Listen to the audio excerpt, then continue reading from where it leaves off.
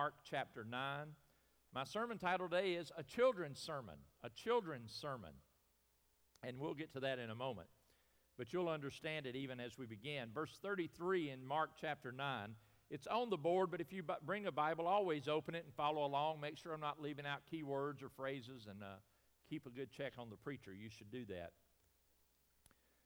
He then came to Capernaum, and when he was in the house, he asked them, What was it you disputed among yourselves on the road?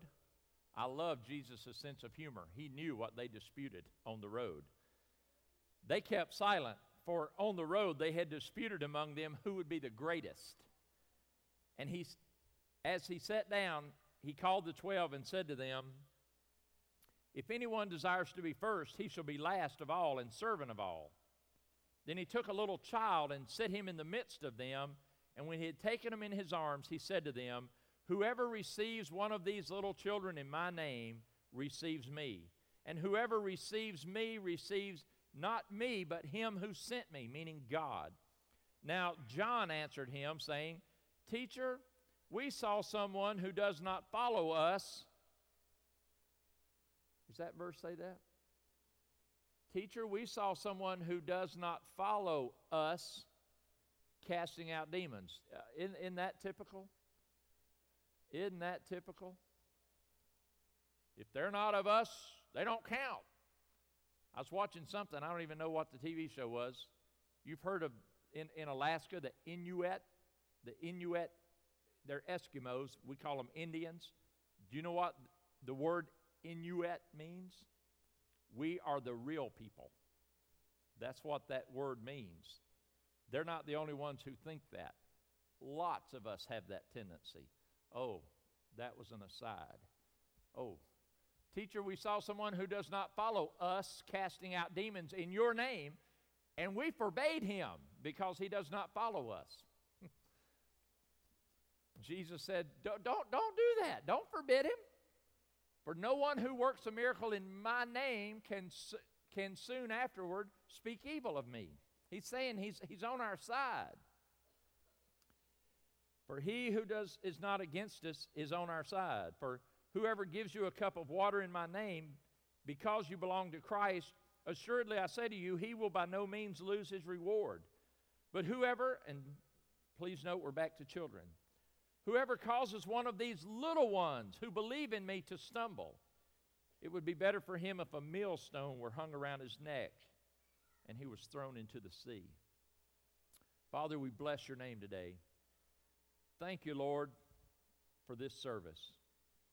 We had a great choir special to open this service up. We sang good songs. Tasha sang a great song and then we had prayer. Lord, we could have very easily gotten up from this time alone, said amen and amen, and went on our way. And Lord, we would have definitely been in a spirit and attitude of worship. But Lord, now we want to listen and hear what you would say to us through your word and through your servant. Bless me, Lord, with my delivery Help me, Lord, not to say anything that is not of you. Lord, give direction to the remainder of this service. And for all that you do, we'll be careful to give you praise in Jesus' name. Amen. Now we're going to go back to 1 John. Jesus set in the midst of them a child. Uh, I believe the emphasis of this text is simply simplicity. Um, I don't know if it was last Sunday night.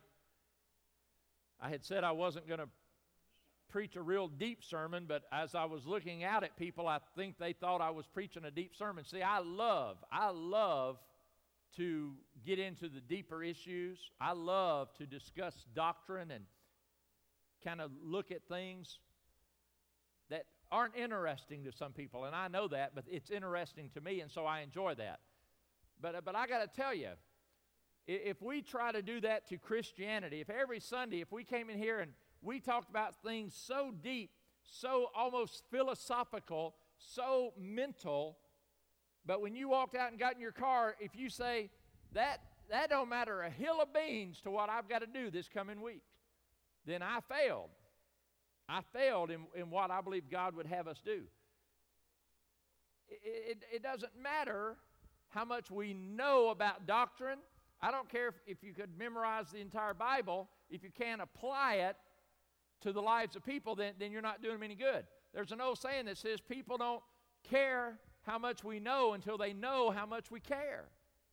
We, we've got to make Christianity something that's real in our lives so that when other people see it, they go, I need what you've got. It's, it's got to be attractive. And I don't mean that in an alluring way, I mean simply it has to matter. And so I believe speaking in the terms of children is what Jesus did because he kept it simple. He wanted people to get it, not make it so hard that they couldn't get it. Well, let me give you point number one, and then we're going to read some text here. We are God's children. We are God's children. I want to tell you, though, that's not automatic. Some of you have heard people like on TV say, hey, we're all God's children. That's absolutely not true. That's, that's not biblical. You have to be adopted in. We are by nature, by nature, we are children of wrath. That's what the Bible says. You weren't born a child of God, you were born a sinner. You're not by nature God's child. You've got to be adopted by God into his family. So we become God's children. We don't start that way. 1 John 3 1, and 1 through 3. Behold, what manner of love the Father has bestowed on us that we should be called children of God. Therefore, the world does not know us because it did not know Him. Beloved, now we are children of God. Now we are.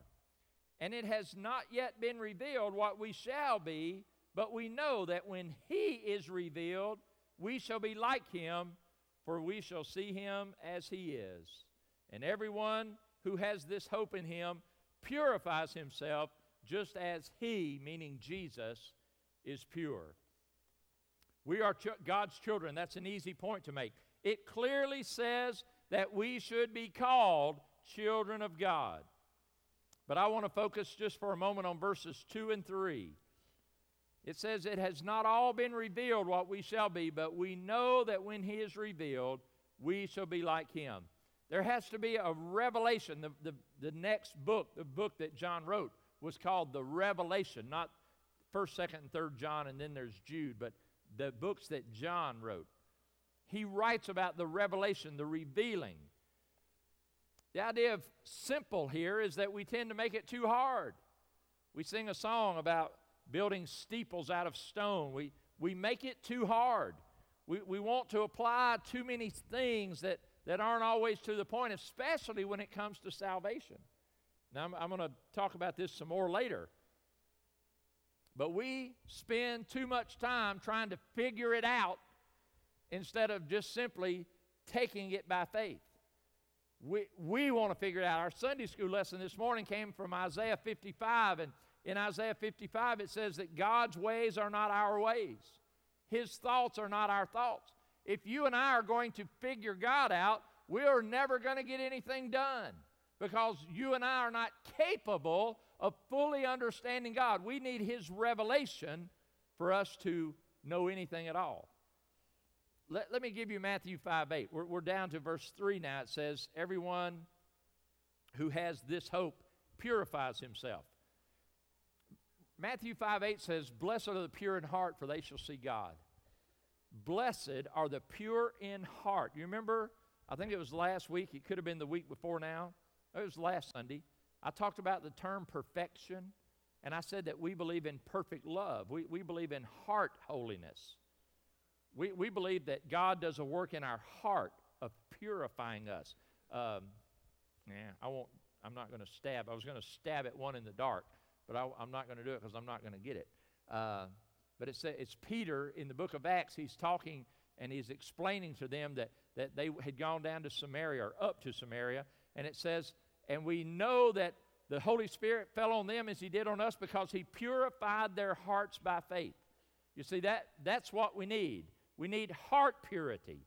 And then that flows out from us. Many preachers would probably tell you that Matthew 5 8 says that if we live a pure life, we'll see Jesus in the end. I don't think that's what John is saying. I think John is saying